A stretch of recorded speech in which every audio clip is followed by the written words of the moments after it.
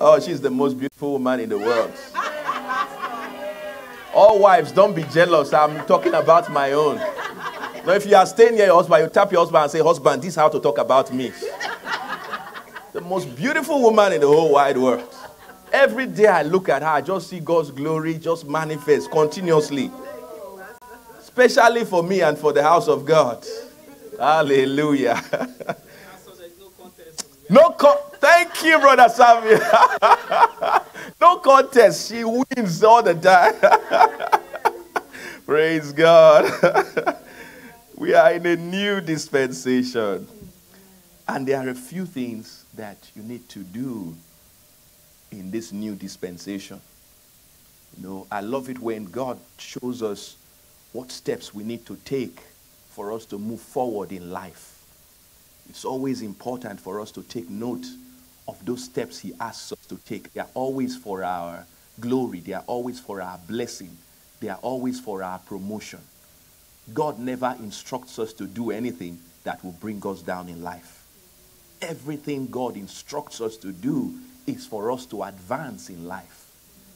It will not make him to be more God than he already is. He is already God.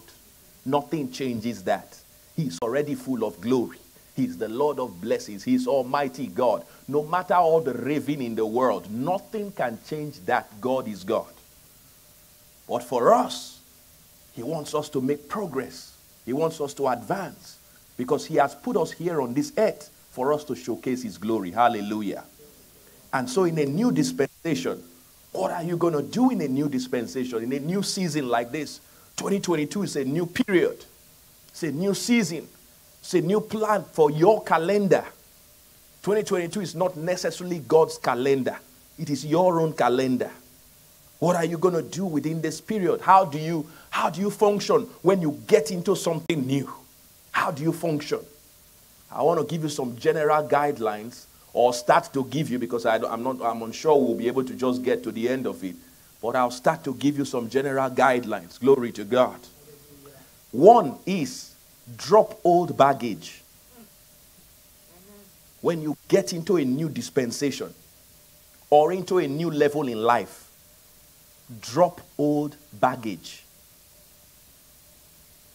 You know, I, I, I remember, okay, let me use this example. A wonderful, funny example.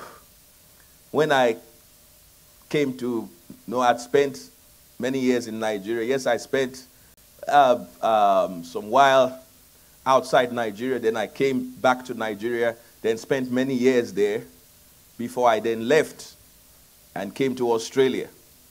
Okay, and then okay, within that period went to some other countries again, then came back. But I mainly principally was there before coming here. And then when I came here, I had changed the Nigerian currency naira into dollar some of it, and then I still had some naira remaining that was not changed, okay, which I carried with me.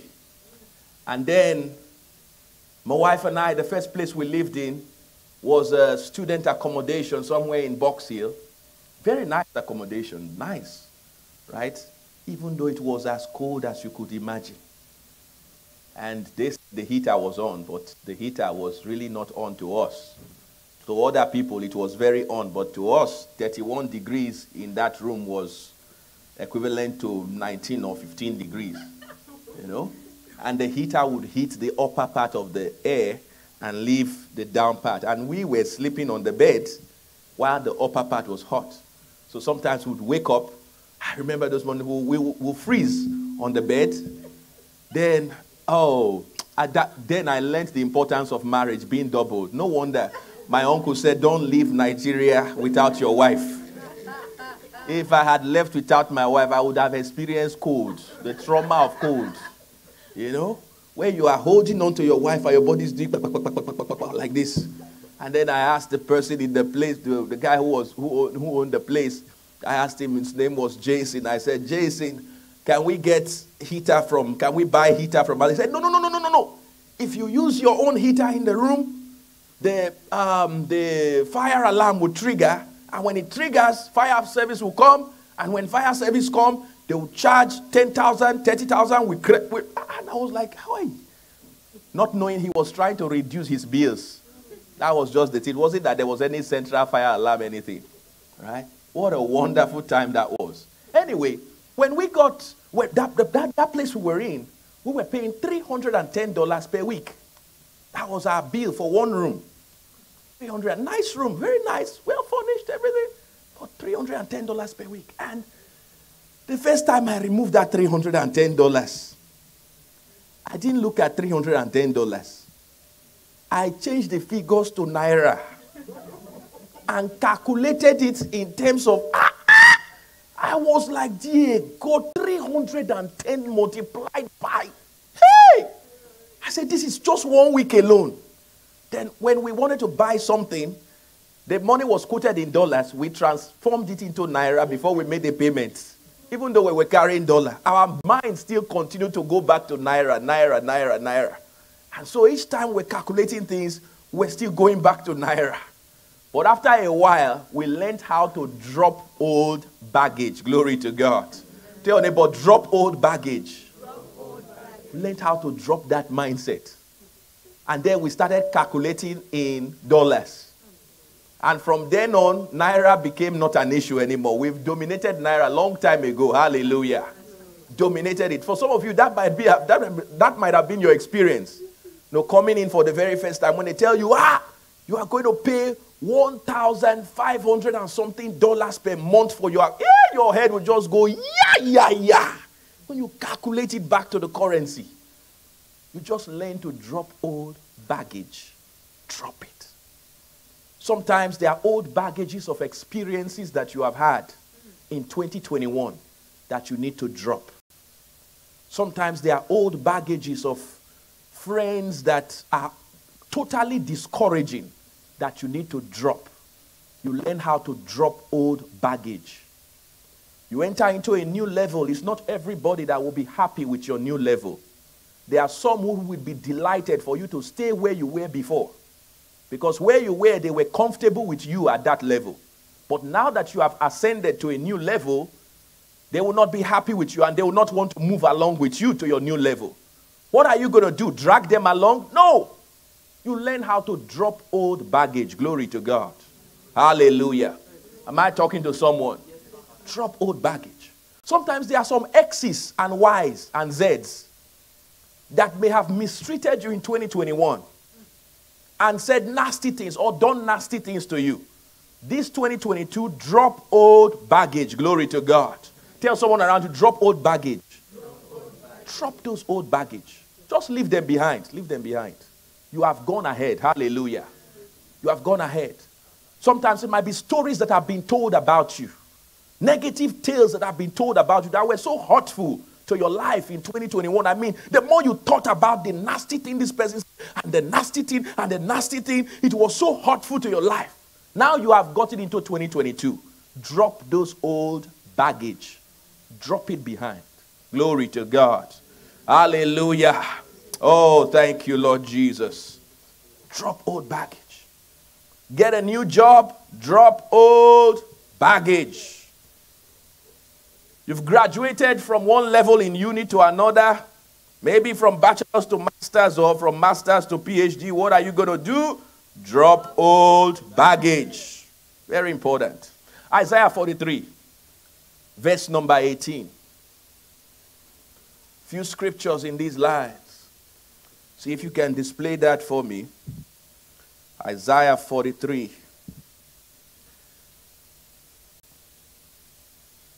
And verse number 18.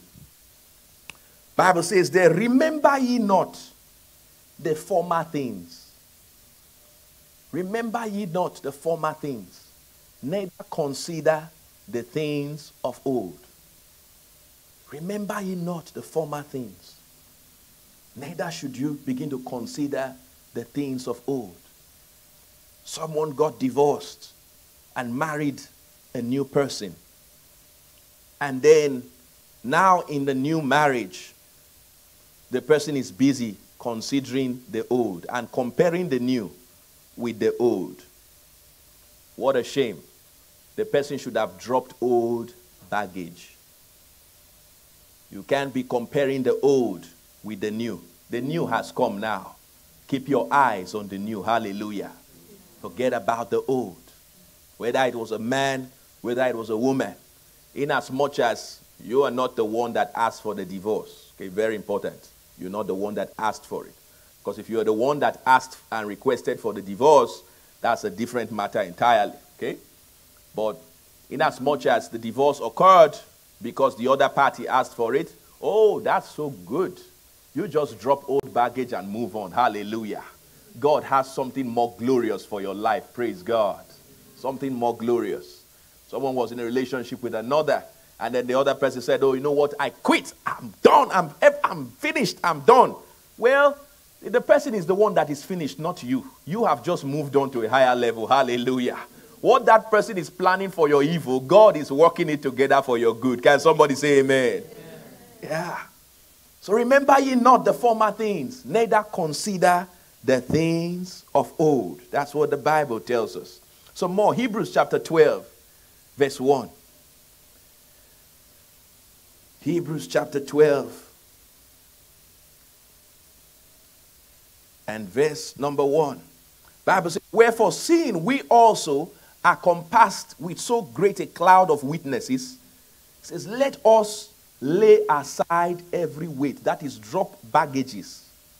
Things that will stop you from moving on, ascending into a new level. He said, Lay them aside. Drop them aside.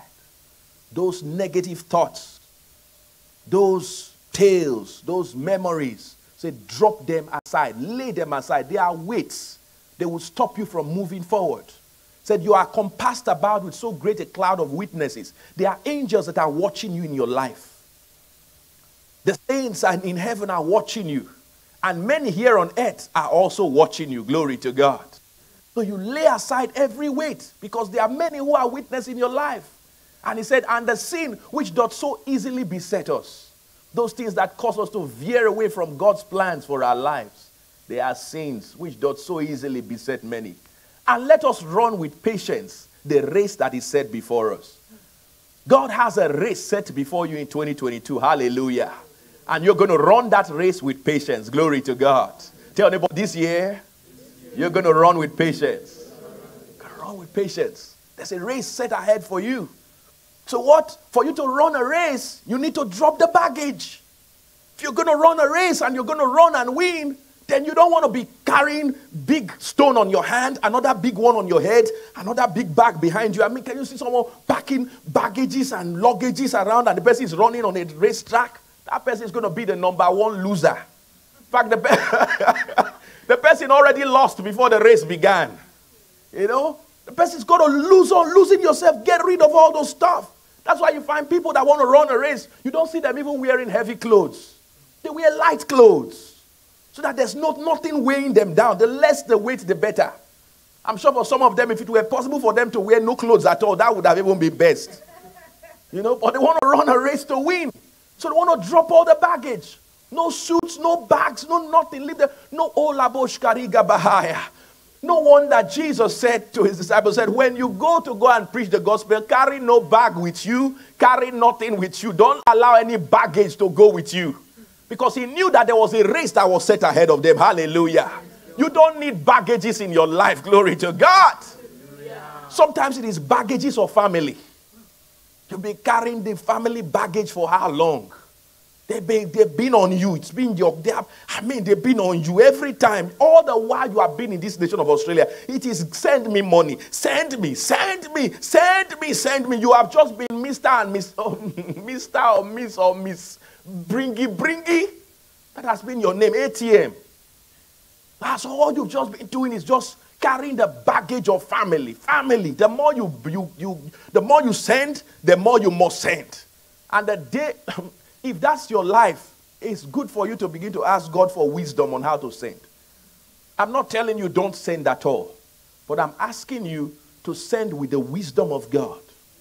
With the wisdom of God so that it doesn't become that their love for you is just based on the amount of money that you have to send. Then the day you don't send, you become enemy number one. You see the truth of the love. Sometimes and tell them, maybe you might have some money to send. In fact, maybe bigger than you even wanted to send before. But you tell them, I'm having some serious challenge now. And then watch and see who will really love you in there. Some of them might just despise you for the next three months. They don't, in fact, those that used to call you before will no longer call you because you have become useless. Then you know their love for you was not really a love for you, it was a love for the money that you were sending. Glory to God. Wisdom at work. Hallelujah. So, baggage. I want to get rid of baggage so that you can run your race effectively. Glory to God. Give you another scripture Matthew chapter 9, from verse 16, the words of Jesus. Matthew chapter 9, from verse number 16. No man puts a piece of new cloth into an old garment. No man puts a piece of new cloth into an old garment. For that which is put in to fill it, to fill it up, take it from the garment. And the take it from the garment, and the rent, the tear that was being amended, is actually made worse. What's Jesus saying here? When you try to mix old cloth with new cloth to make them to sew one cloth, or you want to make mend a patch and you put a new one to mend up the patch, you actually make the garment to become worse. You cannot mix the old and the new together. And then he goes on further. No wonder when we are born again, we are born completely new. God doesn't mix the old man and the new man together. No, he says you put on the new man. You put on the new man. It's not a mixture of an old you and a new you. No. You are completely new. Praise God. Totally new. So he says then, verse 17, he says, Neither do men. So he likens, he further explains what he's talking about. He says, Neither do men put new wine into old bottles. They don't put new wine into old bottles. Else the bottles break and the wine runs out, and the bottles will do what? They will perish. But they put new wine into new bottles, and both are preserved. Hallelujah. New wine into new bottles. So, you know, this year, as you are doing things, you want to do some things that will become new. If you have been used to buying, there's this thing we used to call okrika. It's still in Australia. They have it, many. Okay? That is old, discarded item that is renewed for you, redusted, so that you can wear the cloth. Eh? Second life. Oh, thank you, my dear. Second Life was a movie one time. second life, second hand goods, you know. So you are used to going to Salvation Army to do your shopping. This year you can make up your mind and say, No, I'll be the one to give my old clothes to Salvation Army. Can somebody say amen? amen? You give your old clothes, you donate them to Salvation Army. And then you go to at least, at least for a start, you can start from Kmart. At, in fact, I don't recommend Kmart. They were very nasty to the unvaccinated. Don't go there. Go to Target and Myer and other senior places to do your shopping. Hallelujah. You know, go there. Anyone that was nasty to unvaccinated people, Kalebo, Zegebo, Sagaba, Andes, Koya. Mm, you cancel them. We also have cancel culture in the house of God. We can cancel them. Glory to God. no, this year you can decide. New stuff's what I'm going to be into. You want to look out for a car? You don't, don't let your mind just go immediately to the old ones. How do I get, you know, you know for some, the, the, you, you have the money to buy the car. It's not that the money is a problem. You have the money to buy the car. But the challenge is just that your mindset just goes to 20,000 Ks plus. It, it, you know, it's that you, you need to change the mindset. So immediately you just start doing a car search, and from there you have already started 20,000 Ks plus, 19, 1997 eh, model upwards. Why must you be like that? Glory to God. Even if you want to go back to search something, why don't you just go from two years behind? You know, maybe you just start saying 2019 upwards. And then you start searching from zero to up, you know? Glory to God.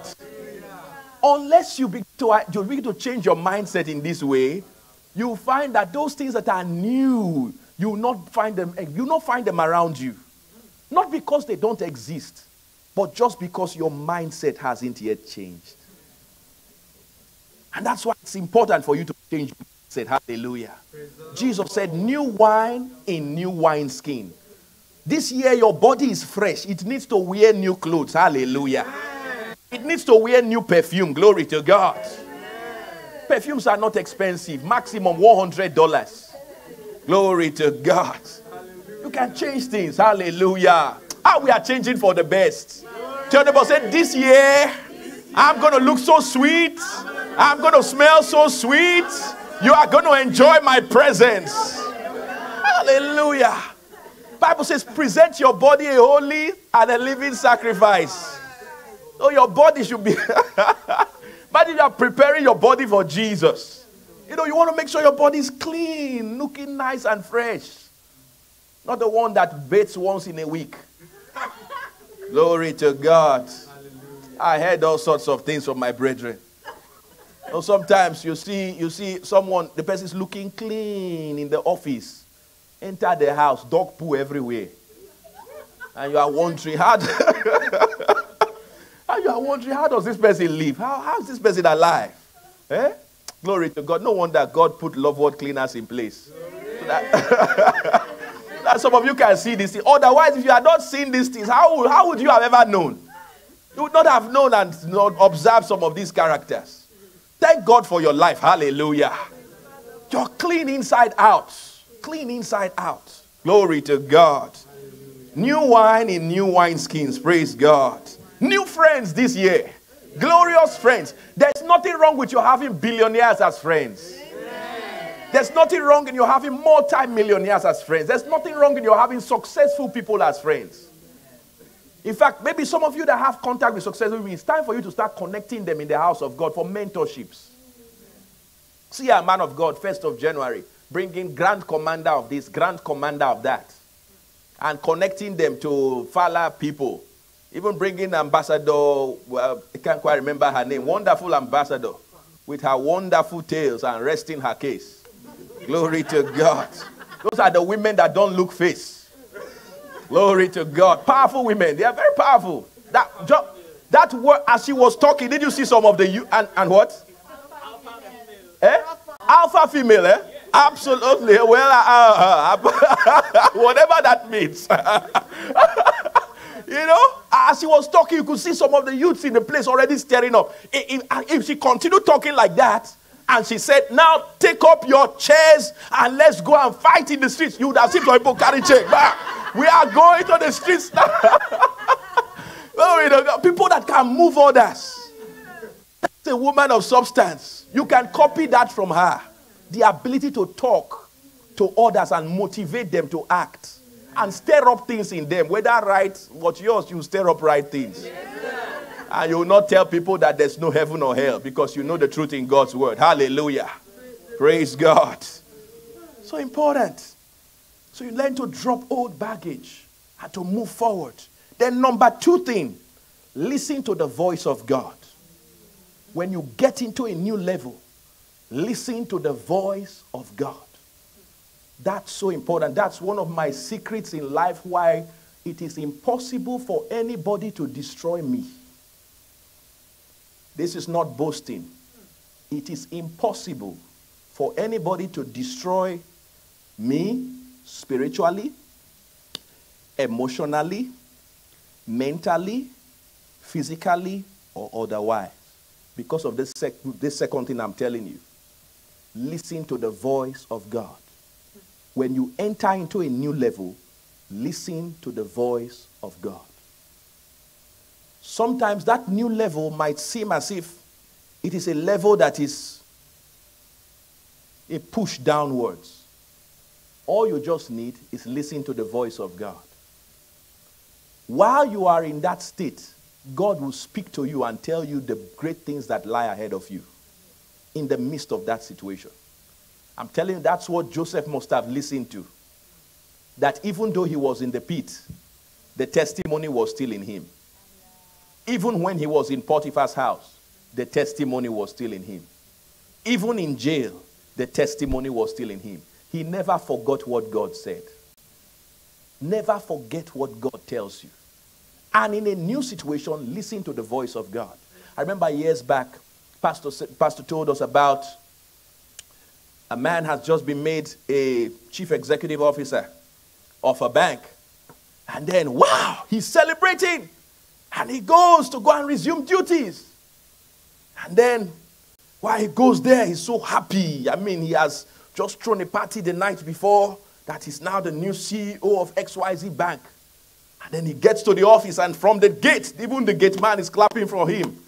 Then he enters into the office, everybody's celebrating. New CEO has come. Hey, new CEO has come.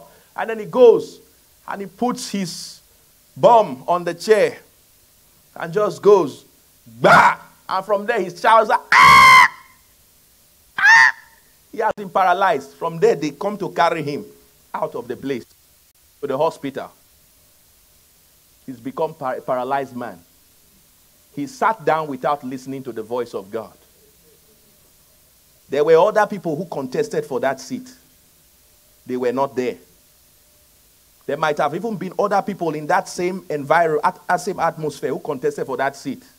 And they have planted Dr. Mokbo for him and kept it. Said, you, you, you will never rise up from this seat.